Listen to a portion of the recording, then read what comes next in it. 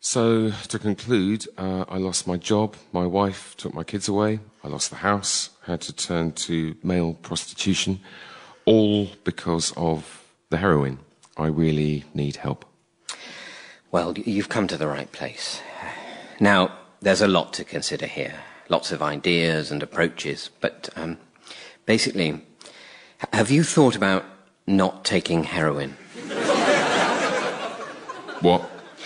Be- because uh, loo- looking through your case notes, um, it seems that most, uh, if not all, of your problems, lo- losing your job, your family, your home, having to have sex with men for money, they're, they're all as a direct result of, of taking heroin. Yes, yes, they are. So that the way I see it, if, if you didn't take heroin, you'd, you'd solve all these problems at a stroke. Do you have any strategies for giving up? Yes, yeah. The, the next time you, you feel you want to take some heroin, Yes. don't. Right. And, and then, ev- every subsequent time you feel like you, you want to take some heroin, Yes. still don't. Can you maybe recommend a phased withdrawal using some kind of opiate substitute? Yes. Oh, great. If by phased you mean sudden, and by opiate substitute you mean nothing at all. You, you mean just um, stop, Stop taking heroin. That's it.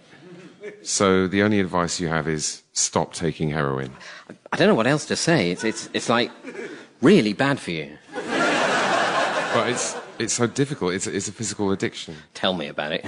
You, you know, uh, when you're having a dinner party, and, uh, well, no, you, you probably don't anymore, but um, quite often when we've got friends round, my wife buys crisps, uh, posh ones like kettle chips, and uh, puts them in a bowl on the coffee table to have as nibbles. Well, I love crisps, and I could quite easily eat the lot.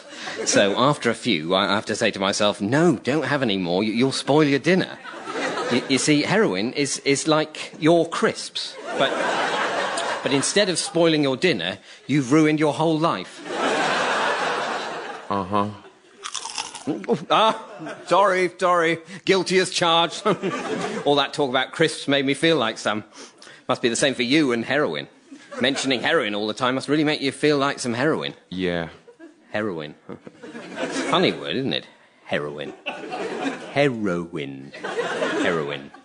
Sounds like heroine with an E on the end, but it's heroin without one. Heroin. Crisp? No thanks. Yeah, probably best. They're quite moreish.